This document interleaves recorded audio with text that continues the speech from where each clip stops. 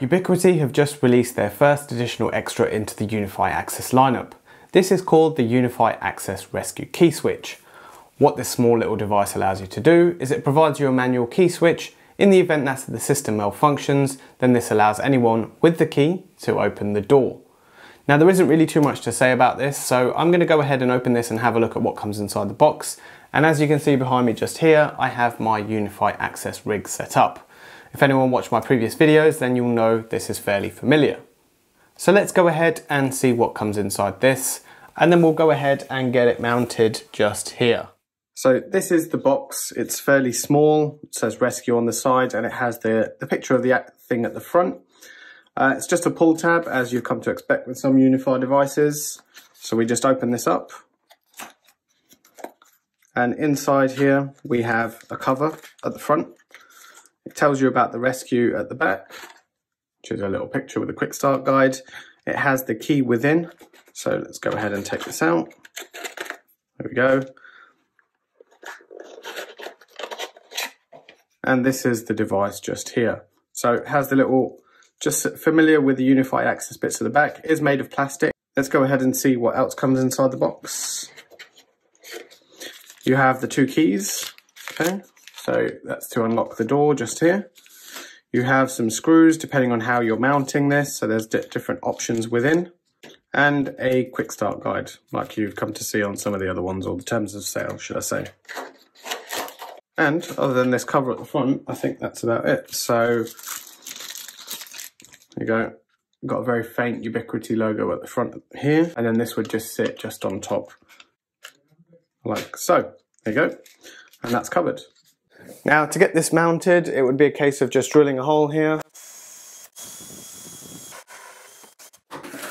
And there we go. Uh, I probably do advise you doing this outside because I've just literally covered myself in dust, but that is where the this goes straight into here and it fits nice and snug at a 32 millimeter hole.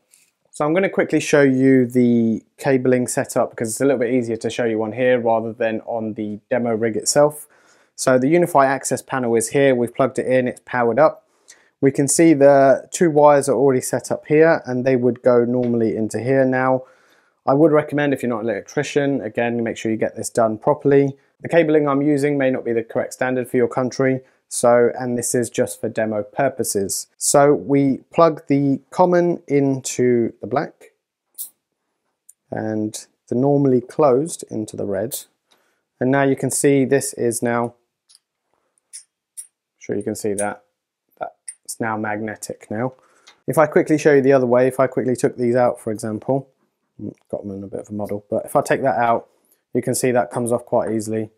Doesn't go on, but as soon as I pop this on, here we have the rescue key switch, and we've plugged the brown into normally open and the blue into the common. So what we're going to do here is just join these into here. So the blue goes into the blue, that's in. And for the brown, spin them together just so they're working. And there we go. So that's now that's now connected back up again. Okay. So let's go ahead and get this set up on the demo rig again. So now that you have it all cabled up, we go ahead and pop this in. There we go, that's in. You would screw that in generally, but I'm not going to do that at this point. So we can see our door is currently closed. We can't open it. And we go ahead and turn this and the door opens and that will constantly now stay open until you go ahead and lock this again. It will then close up. So there we go, it's quite a simple tool. I'll say it before and I've said it in my previous videos, this has potential to be a really good product in terms of UniFi access, but there are many more areas that Ubiquiti need to cover to make this more commercial, enterprise ready.